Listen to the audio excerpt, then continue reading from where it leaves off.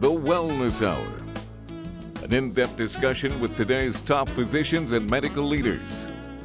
And now, your host, Randy Alvarez. You're watching the Wellness Hour, leader in medical news and information. I'm Randy Alvarez. Today's topic advancements in the treatment of gum disease. With us, we have an expert on the topic, Dr. D. Lorenzo. Dr. Uh, D, welcome to the program. Thank you, Randy. So, your Great patients to be call here. you uh, Dr. D. Dr. D. Is that right? Yep. Now, uh, before we get into today's topic, tell me about your practice. You're a periodontist. I'm a periodontist. I was trained uh, in my specialty at the University of Pennsylvania, uh, multidisciplinary training. We trained in prosthetics, orthodontics, um, so we're multifaceted in how we diagnose and treat.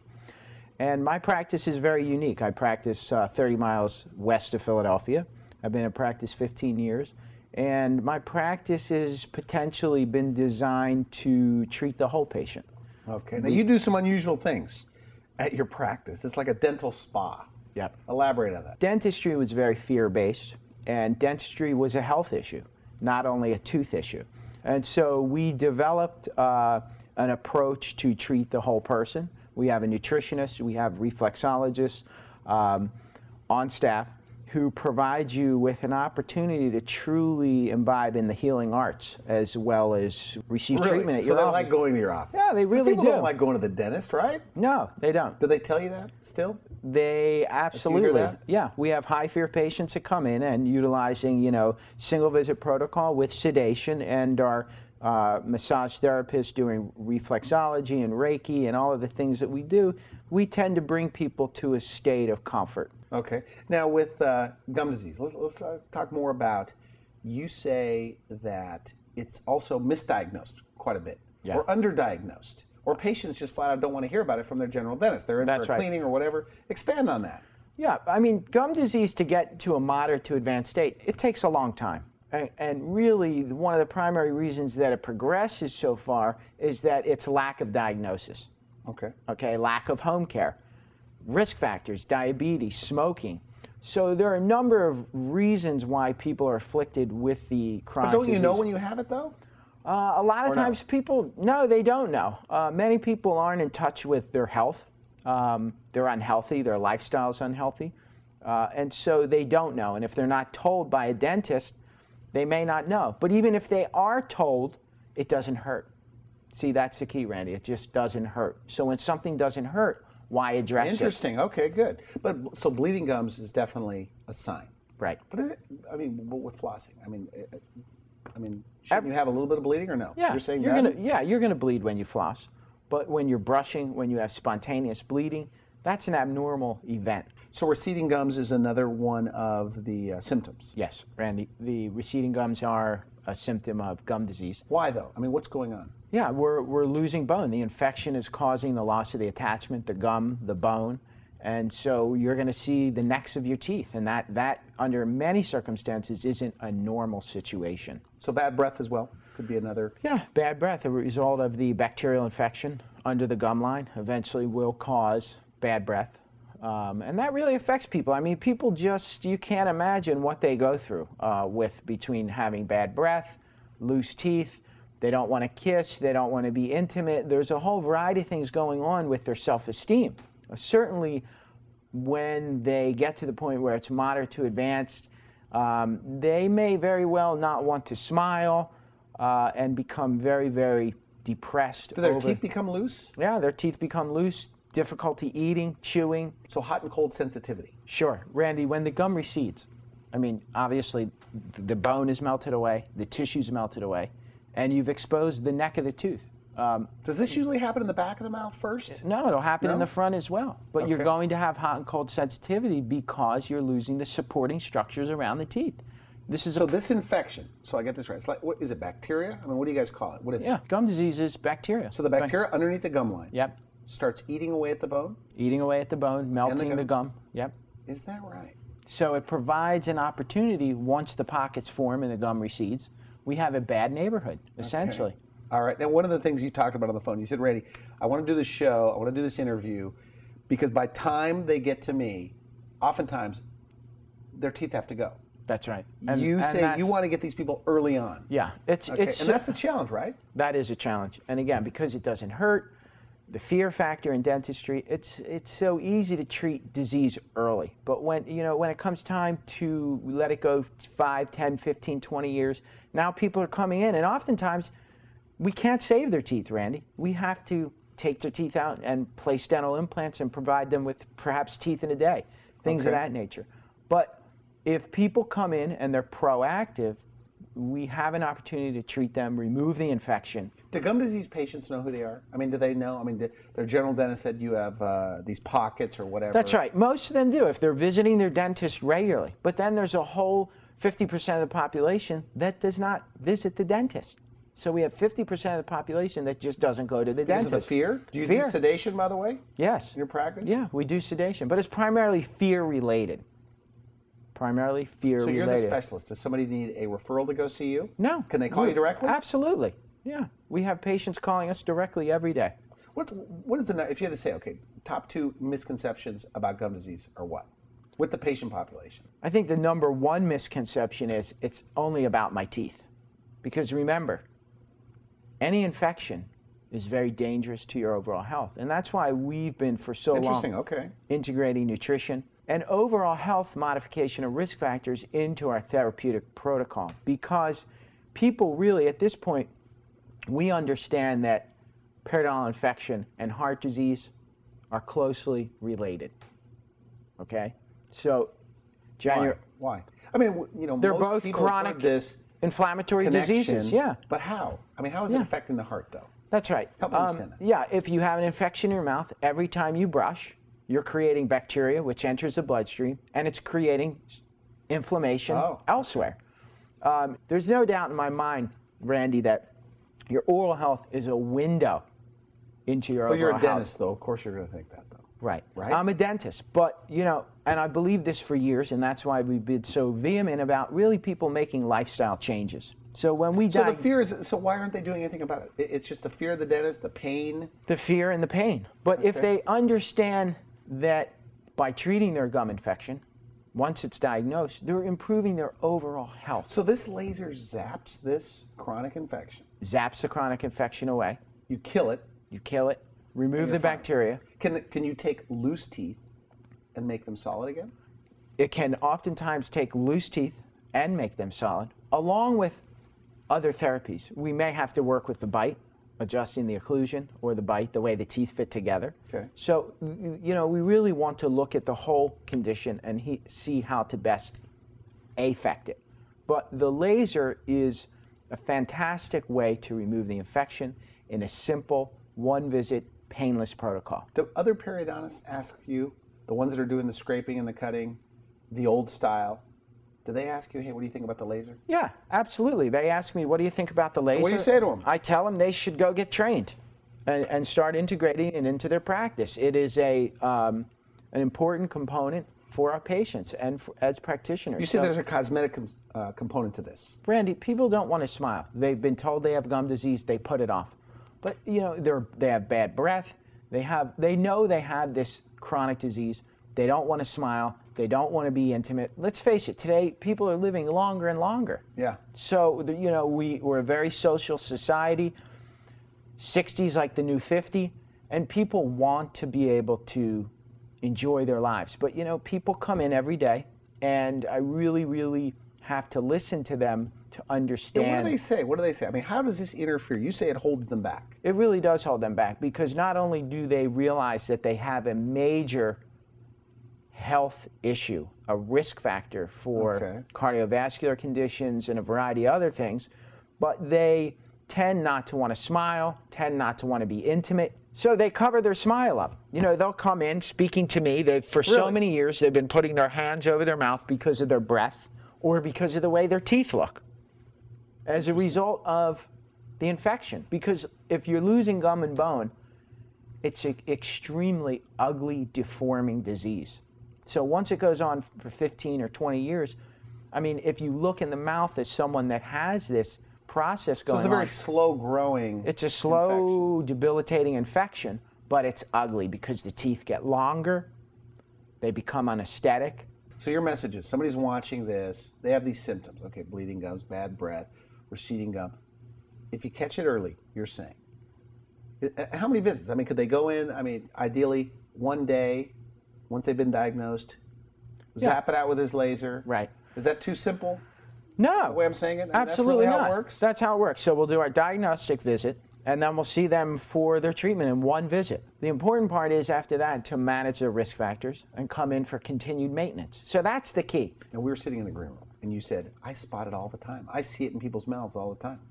And I got insecure. I didn't want to smile big around you. I mean, do you really see it all the time? Yeah, I do see it. And, you know, you can really tell when people have an infection in their mouth. You can smell it, you can see their teeth have moved, you can see the length of their teeth. So it's it's simple for people to, to really self-diagnose. All they have to do is look in their mouth and So pay bright attention. pink gums, bright pink gums. that's gum disease. yeah, absolutely. Bright pink gums. I see young people with that. Oh, the, the so the disease that's that's that's an infection that you could zap out and it's taken care of. That's it. And you, Really? you mentioned young people. You know, we see people from 18 to 70 to 80 to 90 for treatment.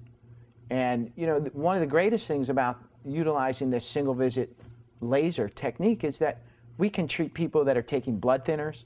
Um, we don't have to stop them because the laser light will coagulate the blood. So we don't have any problems. We don't have to cut the gums. So it's perfect for our elderly population. So no more cutting, no more stitching. No more cutting, no more stitching, simply complete in Could another periodontist that watches this show send me an email and say, Randy, it's just not true? That laser is not as good as scraping it off the gum. I mean, could, could, could other dentists argue that you have to scrape it off? You Well- can't do it with a laser. we, we still have to remove the tooth associated bacteria and the tissue associated. So we still are utilizing, after we lase, we do the first pass of the laser. Okay. Uh, and we'll show it on the animation. But then we also do clean the tooth of any surface secretions just to smooth it. And then we come through with the second pass of the laser, Randy, to seal up the site. So certainly, um, I don't think there's a better way to remove infection. And I think do it this way. retrospectively, as I said, we have 450 practitioners nationwide right now utilizing this technology. In another 10 years, it'll be the standard of care. It's FDA approved, um, and it is But the challenge is getting people for early treatment. early treatment's the key. Early treatment's the key, as with any disease. So the fear is pain. The fear is pain. Most of the time. Absolutely pain. So and about the people- possibly financial. You said that there are people out there that they've had one side of their mouth with the stitches and those kind of things. Right. When I first, yeah, when I first imbibed, took this laser and utilized it for the first time, I had some patients that we had done traditional periodontal surgery on, and I did the other half with the laser. And Because I'm- you couldn't get them back because it was so painful the first time. exactly. Okay. But we got them back, and we did the other half of their mouth with the laser. And what did they say? they couldn't believe that I didn't have this earlier, and that if they knew that it was going to be that easy, that they would have just had it all done at one time and would have never thought twice about it. Okay. So it's really provided the opportunity for people to leave feeling positive. Of course, coupled with our whole office approach, they're able to leave I mean, they're really, getting massages during the during the treatment. yeah, reflexology. And Really? we tend to integrate that in because we really believe that um, we can stimulate the endocrine system or the body. Because remember, when we remove this infection, there are huge changes in your body. You're removing a major infection. As I said, And that's not took- an overstatement at all, by the way, when you say that. no, not at all. I mean, if this infection weren't hiding under the gums and we took it out, a mouthful of periodontal infection and put it on both hands, it would it would cover both hands. People would literally run to the doctor and say, "Randy, what is going on with my health? Look at this infection on my arm." Okay. But it hides under the gums. People don't know it. They don't take it as a real health risk, so it's ignored. But there would be under no circumstances, if it were in any other part of the body, would anyone ignore it. So get it diagnosed first. Get it you can Go to your general dentist. You can go to your do you general say? dentist. Give me a Yeah, Gum most- check for- yeah, check pockets? Pocket, yeah, we want to do pocket probing depth, and that is uh, six points around the tooth to check the health of the gums. Um, and certainly your general dentist can do that, but we advocate, uh, particularly our adult patients, to come see a periodontist because, again, we are specialists in adult dentistry, diagnosis, tr- treatment of gum disease, which is extremely prevalent in the adult population. As I said, 75% of uh, people walking around today have some form of gum disease. It's the leading So cause of tooth loss. It's also about saving your teeth. It's about saving your teeth. It becomes with one tooth, it starts with one tooth, and then it becomes two teeth, then three teeth, then four teeth, and then, you know, your teeth shift. It's this big cataclysmic event. Now, you know, on the phone you said, Randy, that these people, uh, in some cases, we give them their life back. Yeah, we do. We really do. Really? Because I mean, it's- how? Really? I, I laugh because it sounds like an yeah. I mean, it really provides an opportunity for a lot of people to regain their health. Okay. Okay. Because it's an impetus. I mean, they may not have heart disease or diabetes or other issues, but they have gum disease because it's so prevalent. Once they take the initial step to treat the infection and remove the infection, right? They now have taken the first step towards controlling their own health. And they begin many times to, you know, stop smoking. really? Yeah, to eat healthier, to take vitamins, to do things that, again, almost to lose weight, whatever it is. When they commit to their oral health, they really commit to their overall health. So, what about the people that are really bad off? Yeah. Their mouth's a mess. Yeah, their What mouths are a mess. Does it become too late? It's, you know, they come in and they're even embarrassed for me to look in their mouths. You said that. Yeah. Have, have you ever seen a mouth this bad, doctor? Do they say that? Yeah. And we that's what we do every day. And we're here to help our patients. So we, we don't judge. But what we do want to do is facilitate, first and foremost, removing the infection. And again, as I said, today with the laser, Randy, we can do it in one visit. But then no okay, cutting. So you got no rid pain. of it, but they want a beautiful smile. Now what? Right. So, so do you do then that part of the? We'll, we'll develop a treatment plan if they need to replace missing teeth with dental implants. Um, if we can't save their teeth, we can convert them to uh, teeth in a day with dental implants. And we often will work with their restoring dentist or cosmetic dentist to provide either veneers, caps, crowns, or bridges when needed. So we're So we're when I hear really people that say I have bad gums, okay, so I can't get veneers or whatever. That's I- right. People ask me because of the show, they email me in. So you're saying that this is periodontal disease? It's a gum disease. That if they catch it early, yeah because they can have loose teeth, they can have all of the dentistry done that they need. But then they could get. then they can have the caps and crowns and everything else. But it's like this it's like building a house. So you got to build the foundation first. So that's why periodontics or treating periodontal disease is the most critical component of your dental health. Okay, So this now- laser has made it fun for you. It really has made it fun. And I In the think old days, it was a big drag, right? Yeah. Doing gum disease, It- scraping. and- Oh, it was. Because you were hurting the patient. Well, I mean, you pain, knew the I don't know. patient was going to be uncomfortable. It's very difficult uh, surgically to provide, you know, that procedure. Um, it took a lot of energy from the practitioner. But you know, I talked to my colleagues throughout the world that are utilizing the laser procedure to treat gum disease, and you know, everyone is just astounded as to the patient response and the clinical results. So the people are just really raving about this technology. Okay. And but it again, works. It, it works, without a doubt. And but the bottom line is this: it all comes back to diagnosis. Get diagnosed early, come in early, have a diagnosis, and treat early. You say there's a psychology of tooth loss. That people, it makes them feel older. It really they tell you this on the consult. Yeah, it, you know, tooth loss is debilitating. Not only the, the ramifications of it, the bone loss, the hollowing of the jaws, the resorptive process, but you know, when we restore smiles, people can chew with confidence. They can go out. They can smile. So I understand this correctly. Okay, so if you have gum disease, your teeth may be a little wobbly. Sure, they're loose. wobbly, they're You can't really sore. People can't eat comfortably. But they're- that stopped. I mean, I mean, help me understand. So you do this treatment on the ideal candidate, whatever the Yeah. candidate might be. right. Stop the infection. How do the teeth? I mean, once they're loose, isn't Yeah. it too late at The- that point? Though? No, because No? what's what's amazing is that the light provides uh, the an opportunity for the laser light body. you're yeah, the about, laser okay. light provides a stimulatory effect on the cells of the human body. In particular, the cells of the oral cavity. This particular laser has been designed only for periodontal disease treatment. So it stimulates the cells and the attachment around the teeth to heal itself, actually healing the gum, the bone, and the tissues that hold teeth in. So people can, you know, eat comfortably, go out and eat a steak. They don't have bad breath. They can kiss their, their spouse. So they're really able to live their lives, in particular, as they age. I mean, there's nothing worse than not having your own teeth. And anyone who says they're comfortable wearing dentures is absolutely just adjusted to them. Okay. Because there's no way you can be comfortable eating mush. Okay, so it started somewhere. It started somewhere. So if you got these people early enough, absolutely. this is your opinion. yeah. Early on in this process with the laser, you probably could have stopped it. Right. And If- of course, if they followed your protocols. That's cetera, right. If they're took care of diagnosed and treated early, and that's a critical component. So by seeing a periodontist, Randy, we're able to diagnose them and then provide them with a variety of treatment options because it's not only about treating the infection, it's also about restoring. Oftentimes, I may have to take out teeth at the time that we do the laser gum treatment. We may have to build up the bone to replace teeth with dental implants.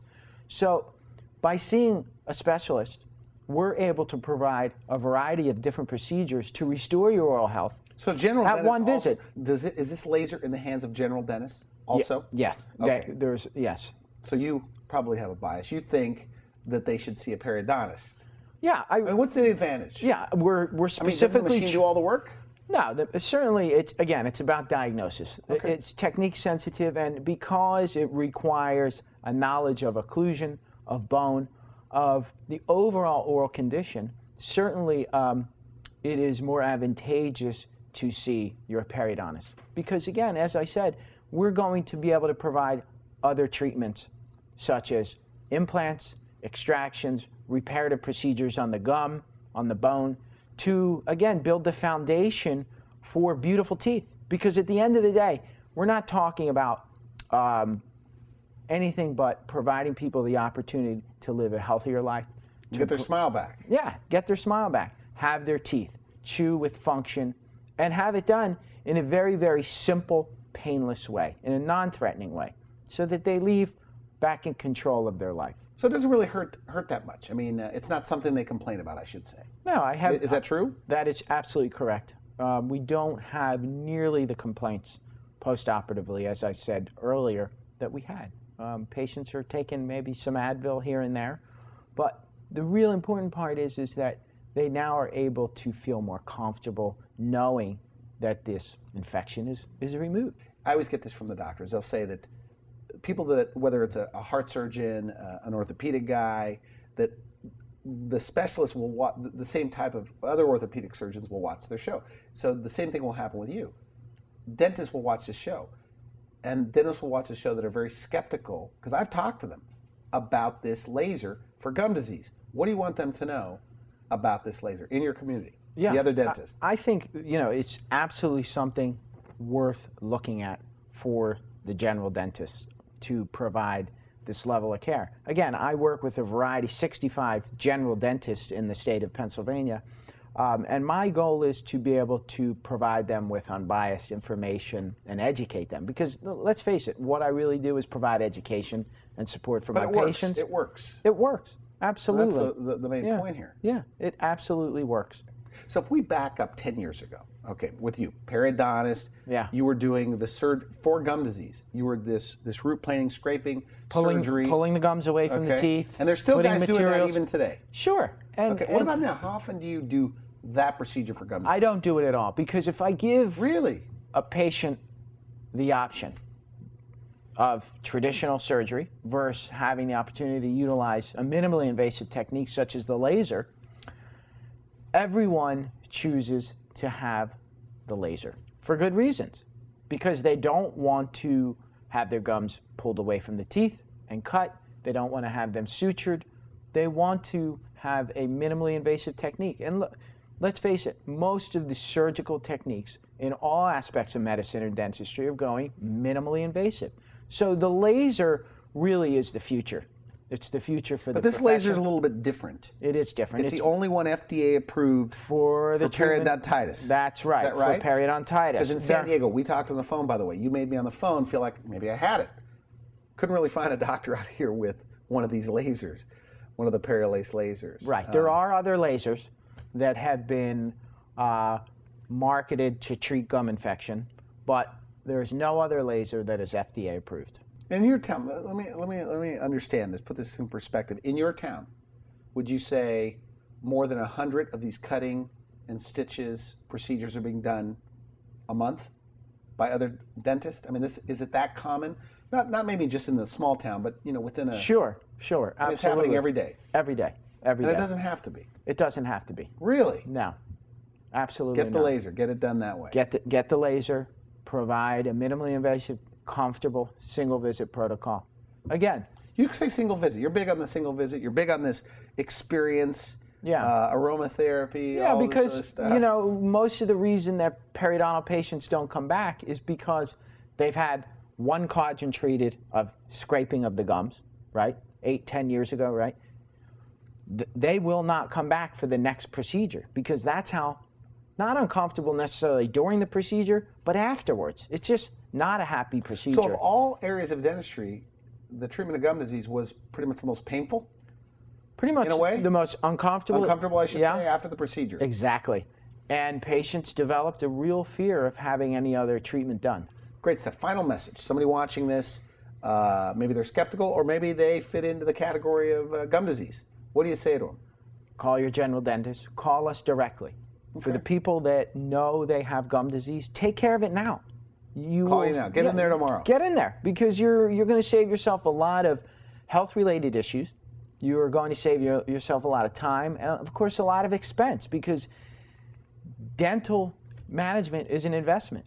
Let's face it. So um, all aspects are easier the earlier we diagnose and the earlier we treat. We won't have to do a mouthful of implants and complex restorative If you catch it early. Yeah. c- Okay, co- good. Catch it early. Well, thank you for coming on the show. Very interesting. Thank you, Good Randy. stuff. Good stuff. Really You're enjoyed watching it. The Wellness Hour, the leader in medical news and information. I'm Randy Alvarez. If you would like to see this interview again online, visit our website.